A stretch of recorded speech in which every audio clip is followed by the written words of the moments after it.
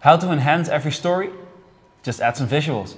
And the best way to do this is to add video clips. And Dissolve makes this easy for you. And today with us is Nikki. Um, Nikki, what is Dissolve exactly?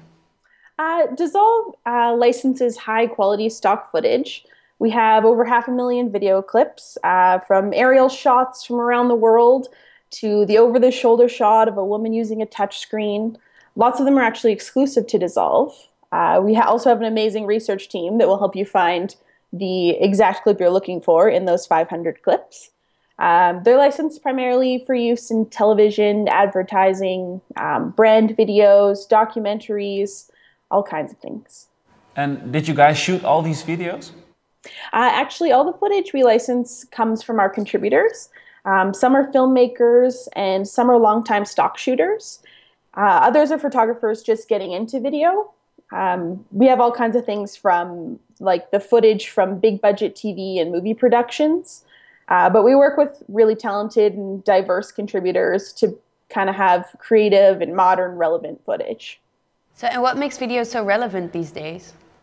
Uh, well, as storytelling and communication, uh, video is just exploding.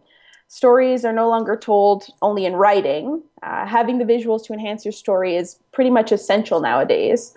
Um, for instance, this interview could have been done via a written Q&A, but a video is so much more engaging and easier for viewers to digest.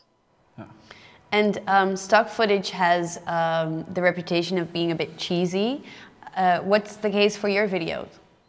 Uh, well, that is definitely a common perception of stock, um, but it's really changed, and we're determined to change that perception.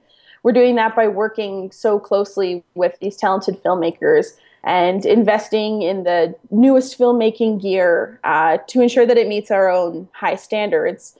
Uh, we're constantly culling our collection, removing all that cheesy stuff, and we're proving that stock footage doesn't have to suck. Well, thanks a lot, Nikki. And um, if you want to see more, check out dissolve.com.